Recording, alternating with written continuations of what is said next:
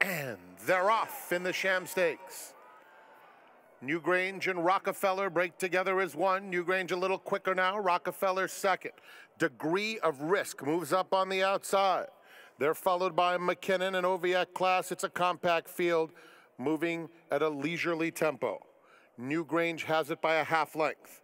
Rockefeller followed by degree of risk. McKinnon under a hold at the rail. Oviatt class right next to him. Three lengths covers them Onto the backstretch they go. John Velazquez has slowed things right down with Newgrange. Has it three parts of a length to Rockefeller second. Degree of risk in the clear while third. McKinnon still eager in fourth. And Oviatt Class, three and a half off front running Newgrange, who cruises down the backstretch. In front by about a half length now to Rockefeller in degree of risk. McKinnon has ridden the rail throughout. Two lengths off the pacemaker and then Oviatt Class. No change in the running order. They head to the 3-8 pole, and Newgrange lets it out a notch, strides away a length and a half over Rockefeller, who's called on now. McKinnon takes third, degree of risk is fourth. Oviatt Class is pushed along.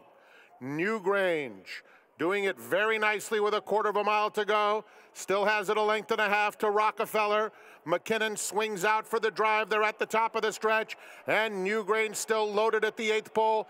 Builds up a two and a half length lead. Rockefeller can't keep up with his stablemate. They're followed by McKinnon and Oviatt Class. A big step forward in start two for Newgrange, who makes every pole a winning one in the Sham Stakes. Wins it by three and a half. Photo for second, Rockefeller, Oviatt Class, then McKinnon.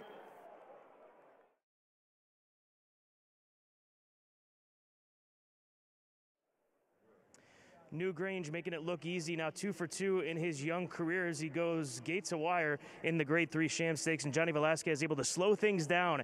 I don't know that I've ever seen a Grade Three or graded stakes race at Santa Anita run this slowly at a mile. How were you able to get away with those fractions? Well, it was only a one speed, and it was uh, the other bad horse and I'm pretty sure he didn't want both of those get ahead and head, and he, he had told me to put my horse to the lead. But once uh, my horse got to the lead, man, he waited. Though, you know, like he really is. Took a little hold of him, and then he kind of started waiting for the horses. So I waited for the horses to come to him, and, and then by the time we got to the back stretch, I kind of let him do his own thing, and he got in a comfortable rhythm. And after that was pretty easy, though. when you asked how much did he kick on for you? I mean, he's still green. I mean, he, he feels like he went on. I still he, he still can do better. I mean, he got on by himself and just kind of feels like he's waiting for the horses. That's what I kind of went and touched him a little bit with with the crap, just make sure I keep his mind and, and running. And the Galpal was pretty good, though, so he still seems like he's learning. How's this uh, opening week, opening first couple of weeks gone for you, Johnny? How would you sum it up? Well, it's been obviously a very blessing, though, you know, come here for the first time in the winter and getting the opportunity. I'm getting from everybody and getting, getting some nice horses. So it feels really good. It feels young. You're doing great. Well done. Thank you. Johnny Velazquez, Hall of Famer Bob Baffert, Newgrange, taking the Grade 3 Sham Stakes.